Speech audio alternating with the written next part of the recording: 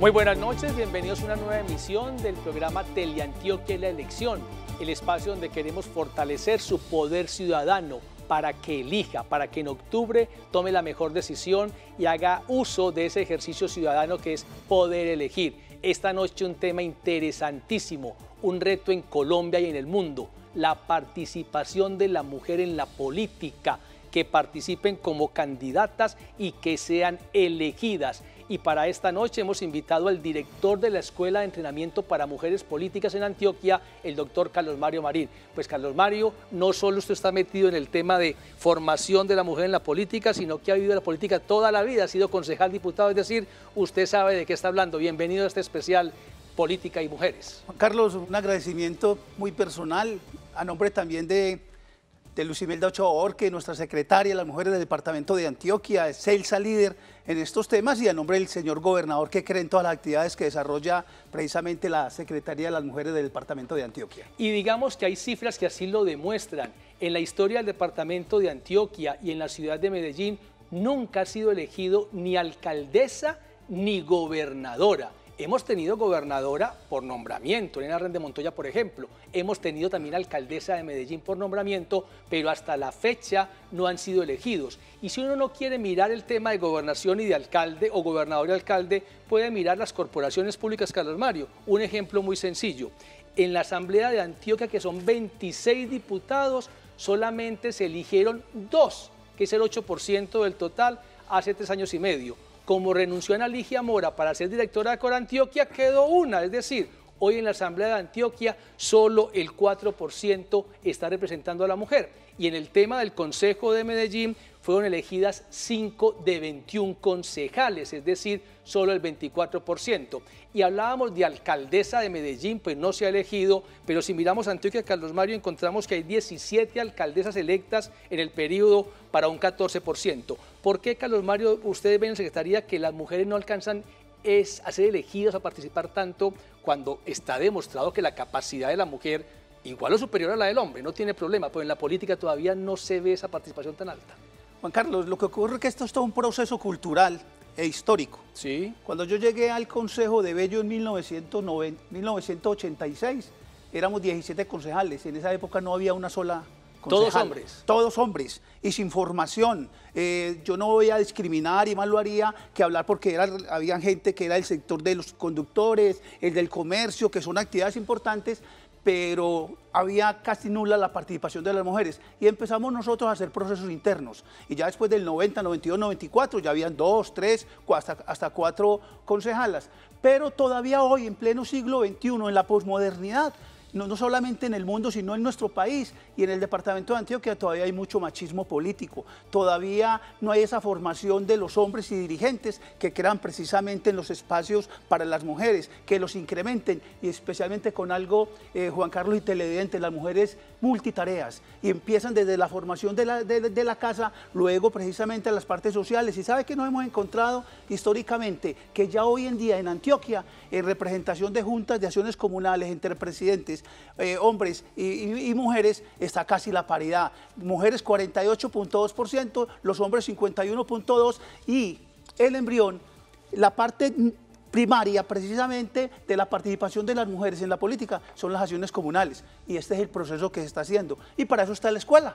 Para eso está la Escuela de Política para Mujeres del Departamento de Antioquia, que ahí, ahí, en la semana pasada terminamos y la vamos a graduar, a certificar con el Ministerio del Interior a 415 mujeres que estuvieron en todo el proceso de formación. No se me adelante con la escuela, que el tema hay que seguirlo mirando en contexto. Hoy en el mundo la mujer con más poder político es Angela Merkel que por supuesto está al frente de los destinos de Alemania, pero después de tres periodos tomó la decisión de no ir más. Y nos contaban, Carlos Mario, asesores de Angela Merkel alguna vez que el reto más grande, inclusive para la mujer más poderosa del mundo en la política, era que las mujeres votaran por mujeres. En Antioquia y en Colombia las cifras dicen que hay más mujeres que hombres con capacidad de votar. También esa cultura política o ese machismo político también se da no solamente en quien elige como hombre una candidata, sino también en las mujeres que no han querido participar muy directamente? Juan Carlos, vuelvo a repetir, todo esto es un proceso cultural. Hay quienes dicen que a las mujeres no les gusta votar por mujeres, que los hombres no votan por mujeres, que porque no, que porque no creen. Y en los procesos de formación se encontraba inicialmente que las mujeres salían a los espacios públicos a decir, elígeme a mí porque soy mujer y es el momento de las mujeres. No, ese esquema nosotros lo estamos rompiendo en el departamento de Antioquia, porque ante la ley y ante la ley y ante Dios todos somos iguales. Y las mujeres ya saben en sus discursos que le están pidiendo el concurso la posibilidad del voto a los hombres para gobernar precisamente, ojalá algún día, en paridad, porque todos tenemos igual de condiciones, pero las mujeres vienen ganando espacios, vienen reclamando igual con lo que me encontré hace días en una capacitación que dicté en el Magdalena Medio y era que las mujeres ya no necesitaban más elogios, nos decían no nos elogien más que el Día Internacional de la Mujer, respeten nuestros derechos y eso es lo que, lo que vienen reclamando. Y en el Magdalena Medio, en Puerto Berrío va a haber una lista exclusivamente de mujeres, claro que con la cuota para hombres para la Asamblea Departamental de Antioquia. Hay ejercicios ahí que uno va encontrando, Carlos Mario, en el país también se da, porque por ejemplo, pues hemos visto ya a la exalcaldesa de Barranquilla, Elsa Noguera, que es la candidata favorita a la gobernación y por su capacidad será elegida seguramente la próxima gobernadora del Atlántico. Y vemos que en Bogotá, por ejemplo, hoy, si las elecciones fueran en este momento, Claudia López estaría siendo la primera mujer elegida popularmente en Bogotá. Si hay una evolución, siente uno que se comienza a entender más la capacidad de la mujer, que es indiscutible, y que ese, esa presencia va a dar resultados en corto tiempo. Y Adicionalmente, nosotros le estamos diciendo a las mujeres que se están formando con mucho cuidado precisamente con los actos y las acciones corruptelas. A los hombres se nos ha mejor dicho, marketizado mucho y cada vez que hay un brote de corruptela, eh, la, gran mayoría es precisamente nosotros los hombres quienes somos los actores principales y la gente hoy en las encuestas que se están haciendo a nivel nacional están cansados de la corrupción y es un espacio muy interesante para que las mujeres empiecen a llenar los espacios, pero cambiando la forma de hacer política. Hemos hablado que Antioquia se ha comprometido con una escuela de formación política para las mujeres. No está esperando que espontáneamente resuelvan hacerlo, sino que ha querido formarlas y acompañarlas en el proceso. Antes de entrar en más detalles, Carlos Mario, por encima, antes de entrar en notas específicas sobre la escuela, ¿qué han encontrado ustedes? Interés, mucha gente, ya van tres cortes en este gobierno en función de eh, las mujeres formadas en política. Sí, y es que están ávidas precisamente por capacitarse, ni han entendido también otro de los términos, no solamente la información, la capacitación, sino la formación integral y por eso los módulos eh, llevaron todo ese camino donde primero se habló en uno de los módulos lo que era la mujer, luego lo que era la mujer como territorio político, todo lo que tiene que ver con el Estado y terminamos ahora que, que dice así, yo decidí ser elegida con el módulo de marketing político, decidió, no ninguna hubo imposición, sino que voluntariamente acudían a nuestros llamados, se inscribían y quedaron muchas por fuera. Lo que pasa es que el presupuesto nuestro no alcanzaba para, sino para 400 mujeres y como decimos nosotros, nos llegaron 415, cero deserción. Un tema donde la Secretaría de la Mujer tiene experiencia, y lo digo porque Lucimeldo Ochoa, la secretaria de, de, la Mujer de Medellín, de Antioquia, perdón, pues fue candidata a la alcaldía de Bello, participó en procesos electorales y en esa maduración del proceso descubrió que necesitaban hacer algo más. Y es allí donde uno entiende la Escuela de Formación Política como resultado de ese ejercicio previo, tanto de Lucimelda como el suyo, tanto tiempo haciendo política, diciendo las mujeres tienen con qué de sobra, necesitan una oportunidad y acompañar la formación para que estén presentes. Lo primero fue Juan Carlos que creyera Usted es un hombre experto, usted es muy humilde y sencillo. Usted es un experto en marketing político, pero trabajamos mucho en el ser con los Imelda lo que primero que llegamos fue a trabajar con ellos la neuroeducación, la neurotransformación y neuroevolución, temas que yo los conozco medianamente y que los, y que los trabajo. Y miren que, que yo soy la que estoy acompañando a las mujeres pues, que, que aspiran a ser elegidas ahora el 27 de, de, octubre y les trabajamos un sueño, el que ellas querían y todos los días lo deben de convertir en realidad. Por eso estamos muy optimistas que las mujeres que se inscribieron con nosotros, las 415 que se, que se van a presentar para ser elegidas, vamos a lograr precisamente muy buenos resultados porque creyeron en ella. Hubo un cambio transformacional que es uno se encanta precisamente hablar con ella, de comunicarse con ellas, de hacer foros con ellas, debate. La semana pasada en la escuela que recién finiquitó hicimos un ejercicio con alguien de que hizo una pregunta a una de las mujeres creyendo que de pronto la iban a corchar y resulta que yo me sonreía porque qué expresión, qué manera de argumentar, qué, qué manera de, su, a ver, su expresión verbal y no verbal de poderse comunicar. Y ya saben qué es lo que debe llevar inmerso el, el mensaje, porque está muy bien formada desde el ser, tanto en la forma como en el fondo. El perfil de estas mujeres políticas, de eso hablaremos cuando regresemos en Teleantioquia la elección.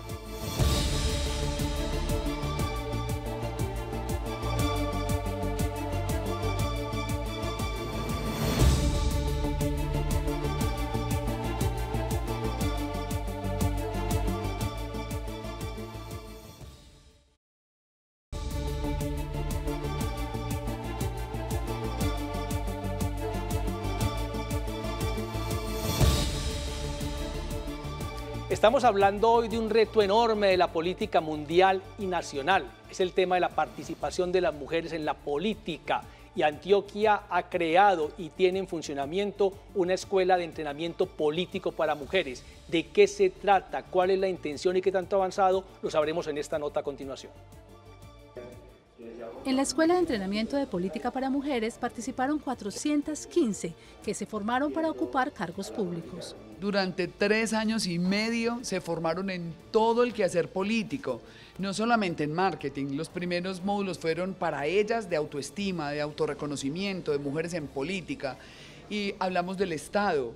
Esta estrategia pretende reducir las brechas de representación en cargos de elección popular, que entre asamblea, consejos y alcaldías no supera el 21%. Ha sido súper difícil en Antioquia superar la brecha, nos quedamos en el 19% aproximadamente alcanzamos al 21% de concejalas porque salieron concejales hombres y alcanzamos en este momento a ser el 21% en consejos. La gobernación de Antioquia las preparó en la Escuela de Entrenamiento Político y solo resta el aval de los partidos para iniciar sus campañas. Arrancamos con un proceso de romper el miedo, de romper el temor de salir a hablar de ellas mismas, de mostrarse en público y decir nosotras tenemos ideas para plantear la transformación. Las mujeres fueron preparadas mediante diplomados y asesoramientos en conocimiento de mercadeo digital, estrategias de campañas electorales, liderazgo y habilidades de comunicación.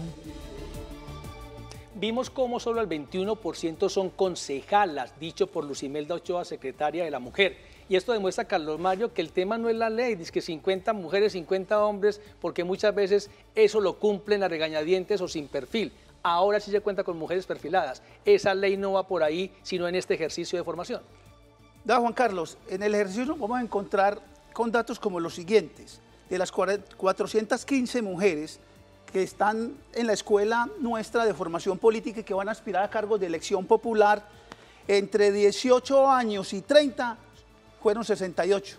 O sea que ahí la juventud también está representada ahí en las 15% mujeres. 15% más o menos. Entre los 31 años y los 60 tenemos el gran, el gran grueso. ¿Sí? Tenemos más de 340 mujeres y entre 61 y 80 años tenemos 16 mujeres, o sea que también las adultos mayores están representadas. Y les voy a contar algo. El 92.5% de las 415 mujeres tienen bachillerato, tecnología, profesional o posgrado. O sea, están formadas, cada vez están mucho más formadas. Y con, oiga, y con maestrías, perdón, con doctorado tenemos seis, y de las cuales cinco aspiran a consejos municipales y una a ser edil del municipio de Medellín. O sea, tenemos mujeres formadas, capacitadas y con ganas, porque ellas han entendido que una de las formas de alcanzar el éxito es la preparación y la actitud, y están actitud al 100%. Y ese tema de formación es muy interesante, Carlos Mario, porque sabemos que en las universidades en Colombia y en Antioquia es igual, cerca del 60% de estudiantes son mujeres también en la política necesitamos mucha más participación femenina. Yo no sé, Carlos Mario, en el tema de las regiones, porque uno tiene la impresión de que el Valle de Aburrá concentra pues, el poder de Antioquia, cómo es el interés en otras regiones del departamento, cómo se distribuye esa formación de 415 líderes que entiendo ustedes buscan allá eh, equilibrio para que todo el mundo tenga oportunidad.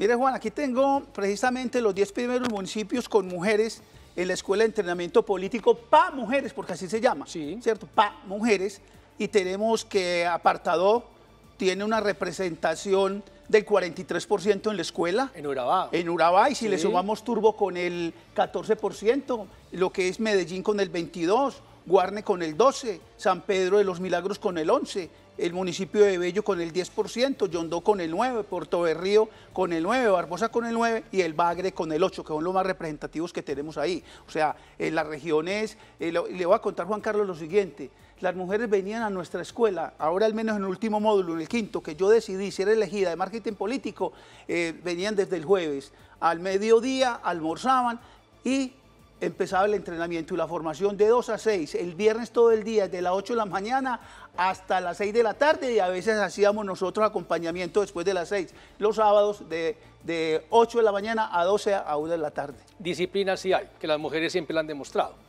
Y nos demostraron precisamente una cosa muy linda que dije ahora, pero la vuelvo a repetir, prácticamente cero deserción. y eran juiciosas. En otras actividades, en otros talleres, a veces cuando venían de las regiones era muy normal que se iban de lo que nosotros llamamos de shopping, que se iban a, hablar con el familiar, con alguien ahí para una cantidad de actividades personales y eran bien juiciosas eh, en la capacitación nuestra y en el entrenamiento. En el perfil de las alumnas ya egresadas de la Escuela de Entrenamiento Político para Mujeres, hablamos ahora de unos casos de concejales aspirando y juntas locales. También hay candidatas a alcaldías, van a jugar porque vimos que hace tres años y medio fue elegido apenas el 14%, 17 alcaldesas eh, para el departamento de Antioquia.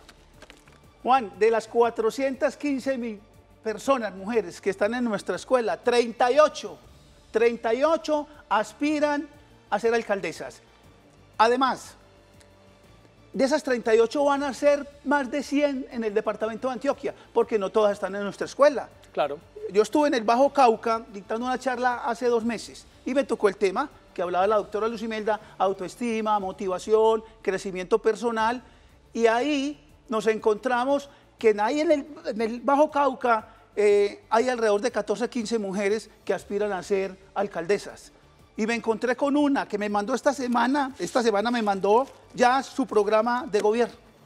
Ya me mandó su programa de gobierno para que yo lo revisara. Efectivamente, pues revisé algo porque están súper interesadas. Desde el día de ayer envié yo un video corto, pequeño, donde les digo y aprovecho pues para que nos están viendo de la escuela, eh, que a partir del 26, que es la certificación de las 415, yo me convierto en el asesor, en el que voy a acompañar permanentemente a estas 415 mujeres que aspiran y empezar, eso por correo y hoy he recibido más de 50 correos diciéndome gracias, qué bueno, ahora lo que se viene es precisamente el acompañamiento, la motivación, no vamos a tirar la toalla porque nosotros entendemos ciertos círculos de las mujeres, a veces gente muy cerca que les quitan energías, por eso tengo, estoy haciendo un proceso de transformación con ellos de quienes les quitan energía para ver cómo quitamos esas barreras para que esos ciclos que de pronto tengan de bajada de, energía no los vayan a tener con nosotros y si los tienen, vamos a subir el ánimo y el entusiasmo para que no declinen.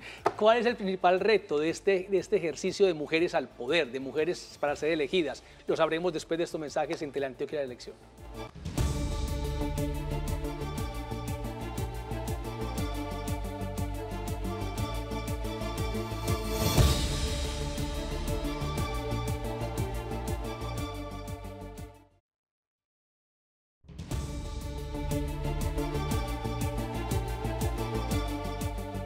Estamos hablando hoy de ese reto de las mujeres en la política de Antioquia, que tiene una escuela de entrenamiento para las mujeres para que sean elegidas. Y estamos con el director de la Escuela de Entrenamiento Político, Carlos Mario. ¿Cuál es el principal temor que traen ellas cuando dicen yo quiero ser política, pero es muy difícil? ¿Por qué? A ver, Juan Carlos, eh, son muchas cosas que se presentan de los diferentes temores. Con algunas muy cercanas, y eso es lo que voy a hacer yo ahora antes del 26 de junio, y es que las pongo a leer el tema de la vaca de Camilo Cruz. Eh, en el tema de la, de la vaca de Camilo Cruz, ahí encontramos qué vacas, qué cosas nos están estorbando a nosotros y que las debemos, como en la historia, es matarlas figurativamente. Y nos hemos encontrado que nos dicen, vea, la primera persona con la que no encuentro a veces aliado es mi esposo. Ah, ok, son casadas. Porque son en las regiones, y son en las regiones, estamos hablando que el 86, 84, 85% de los municipios de, Antioquia son de sexta categoría, los hombres son del campo y en fin, eh, el, machismo del que hablábamos ahora al inicio del programa, entonces muchos es ahí. Eh, la hija, el hijo, cualquier familiar, es lo más cercano. Pero luego cuando empieza todo lo de la comunicación y de manera muy asertiva, se van convirtiendo inclusive en los aliados. Una señora me decía bien, Echi, vea Carlos Mario, yo nunca había entendido y creía que no tenía vacas, pero una de las vacas grandes fue mi marido. Pero resulta que me puse a hablar con él y ahora que estoy inmersa en este proceso es el gran motivador, porque ha entendido la masculinidad y que mientras que yo vaya de las regiones al municipio de Medellín a capacitarme, el marido hace los quehaceres de la casa, ya se bajó de eso de que los hombres no podíamos barrer, trapear, cuidar los niños, cuidar las niñas y antes el hogar se ha convertido precisamente en un remanso. Lo otro es los, temores que si no han tenido formación en, la política ya se los, estamos dando, eh, lo hicimos, ese temor también se ha estado despejando mucho, los temores de la parte económica y en, ¿La el financiación? país. ¿La, financiación? La financiación. La financiación. Eh, es una cosa que preocupa mucho a ellas, que, que por qué eh, no tienen la forma de conseguir los recursos, que qué pasa con los partidos, que cada vez las directivas nacionales las vemos mucho más nacionales, mucho más nacionales, pero decimos que hay cierto tipo de estrategias para hacer campañas que no estén muy costosas y yo no puedo tapar el sol con las manos en algunas regiones tenemos problemas de orden público y eso es uno de los temores que tienen, pero para eso también les hemos dicho que el uso responsable de las redes sociales es fundamental y va a ser fundamental ahora en estas elecciones. Carlos Mario, ¿sienten ustedes que los partidos políticos han entendido que hay un espacio para las mujeres, pero valorándolas y no simplemente rellenando las listas o los partidos siguen todavía en ese machismo político? Juan Carlos, la pregunta, y se la digo a usted y a los televidentes, el día que la doctora Lucimelda eh, hizo la presentación de las 415 mujeres que estamos acompañando en este proceso electoral para el 27 de, de octubre, la ausencia de los partidos políticos a nivel nacional fue grave, no vino nadie a nivel nacional. Nos acompañaron el presidente de la Asamblea, que siempre muy juicioso, el doctor Hernán, el presidente de la Asamblea, estuvo ahí, dio las palabras de aliento, inclusive preocupado que hasta por los avales, a los avales a nivel nacional, ni siquiera las directivas departamentales pudieron estar en Bogotá. Y es otro de los temores que nosotros tenemos, y lo ha expresado la doctora Lucimelda. Y aquí se lo a los partidos políticos, tenemos en estos momentos de las 415, 168 mujeres que no tienen, que no tienen el aval. Hablemos ahora de por qué decidieron hacer política, qué las motivaba, qué dijeron, por qué quiero hacerme elegir. A ver, una de las preguntas que nosotros les decimos a las mujeres, bueno, ¿por qué la participación de las mujeres en la política? No solamente por las normas internacionales, no solamente por la constitución del 91, que su artículo primero, Juan Carlos, es que somos un Estado social de derecho y el artículo 300 de la constitución dice que las asambleas departamentales deben expedir ordenanzas y lo que fue la ley de cuotas, bueno, una cantidad de cosas. Pero las mujeres se han dado cuenta que las decisiones Ojo pues con lo que voy a decir, que las decisiones a nivel nacional, departamental y municipal las afecta y especialmente o se meten en la política o la política se mete con ellas y ellas entendieron cualquier decisión de un proyecto de acuerdo, una ordenanza o una ley en salud, la afecta en educación, en deporte, en, recreación, en lo que usted quiera y han entendido que tienen que ser actoras principales, que no más pasivas, sino que son actores principales del gran universo que es la colectiva en política. Nos queda un minuto, Carlos Mario, para contar algo del imaginario que hay de que la política es tan demandante en tiempo que las mujeres no pueden tener familia en atenderlas. De las 415, ¿cuántas tenían familia en 30 segundos? Como esa historia de No, cómo logran participar tranquilamente con sus familias al lado. No, el 62% son madres. Ok. 62% son madres y habían hecho negocios con sus familias, con los más cercanos, con el abuelo, con la abuela, con la mamá, con los hermanos, con los esposos, con las hijas mayores, en fin, de que esto es responsabilidad de todos, que no podemos permitir que los demás le sigan haciendo la historia, van a hacer la historia y ahí vamos para adelante. Esperamos pues que este 27 de octubre muchas de esas mujeres y otras que no estuvieron en la escuela de entrenamiento político sean elegidas en esta oportunidad de gobernador, de alcalde, de concejales, diputados y junta administradoras locales. Estos temas y estos retos seguirán siendo tocados aquí en Teleantioquia la elección. Para todos, feliz noche, hasta la próxima misión.